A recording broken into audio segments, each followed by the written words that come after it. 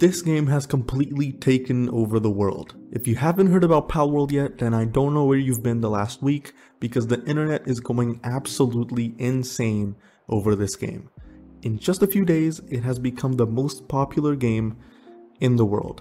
Some people love it, obviously some people are gonna hate it, but the question is, what is it about Palworld that has so many people in a frenzy? Well first, let me tell you exactly what it is.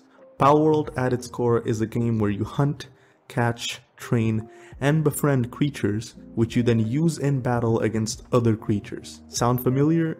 Yeah, that's probably because it's basically the same concept as Pokemon. So then if this is just a cheaper copy of Pokemon, then why is it number one on Steam right now as it's been for the past week? Because it's different. Yeah, Palworld has all of these features that you will also find in the Pokemon franchise, but it brings along a completely new dynamic. It's a survival adventure game similar to the likes of Ark or, or Minecraft, where you have to go and build your own base and find food and work for materials and craft your own items.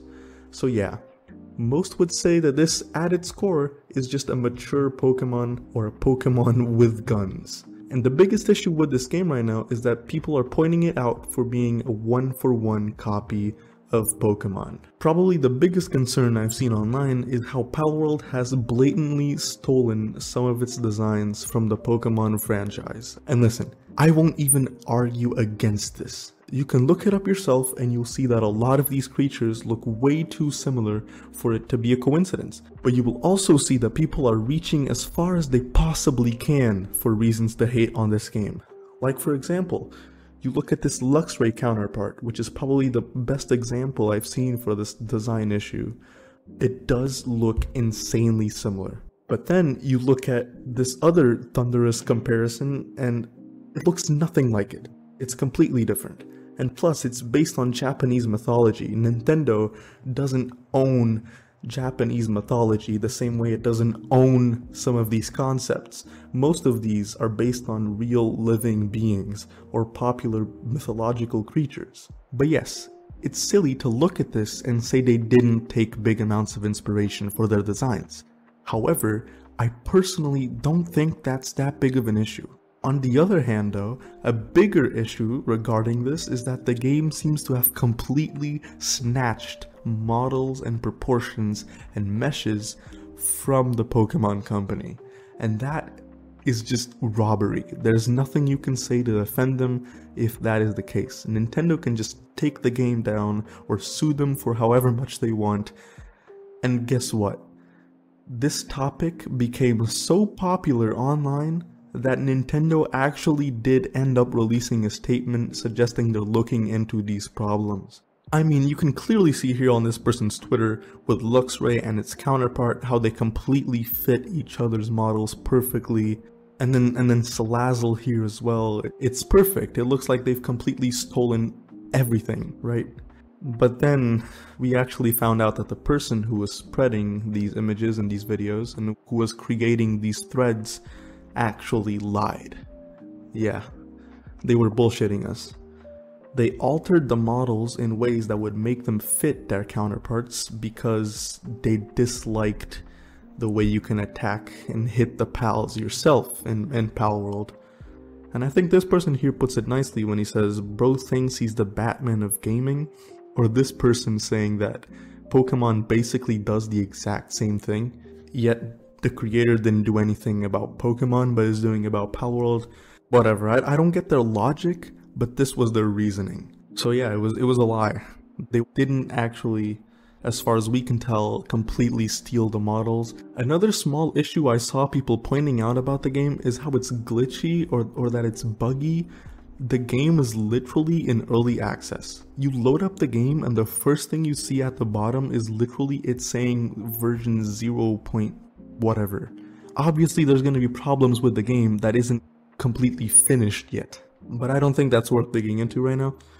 I think a lot of people are mad because this indie company on a low budget working with literal middle schoolers managed to create a better and more unique Pokemon game than Pokemon and Nintendo themselves. And if you don't know what I meant by the middle schooler thing, I'm just gonna play this Asmongold clip Budget of $10,000. Most models and gun stuff done by some middle schooler who was working part-time at a convenience store the developers went to. All of that was taken from a Japanese interview they did with the developers where they say they literally had no clue how to even use Unreal Engine and the senior developer had to teach them as they went along. I mean, we're talking about a billion dollar franchise, literally one of the biggest franchises in the history of the world now and for the foreseeable future, and yet they're being completely outdone by middle schoolers. And this is not only regarding gameplay, we're talking about graphics and performance as well, where Game Freak was once again completely outdone. I mean, I played Sword and Shield, I played Scarlet and Violet, I played Legends Arceus, and now I see this game, and it's got me completely dumbfounded. They say right here one of these was made by a multi-billion dollar company, and it wasn't this one, it was this one. Or here, I mean, if you if you Photoshop Mario out of this image and just stick him in this one, it legitimately fits right in. And yeah, I really hope that the surfacing of this game serves as a wake-up call, not only for the Pokemon company, but also for the many lovers of the franchise. It should show them that they can do better, and they should be doing better, and that if we keep consuming the shit that they give us like maniacs, then they will keep serving us more and more of that same shit. Because they know it really does not matter what they put out there, because people will still play it. We have proof right here that the Pokemon concept works phenomenally, and it can be so much more than it currently is. Pocketpair gave us the best Pokemon game we've gotten in the last like 10 years for less than half the price. And a lot of people would say, the Switch is terrible, that's why the Pokemon games don't look good.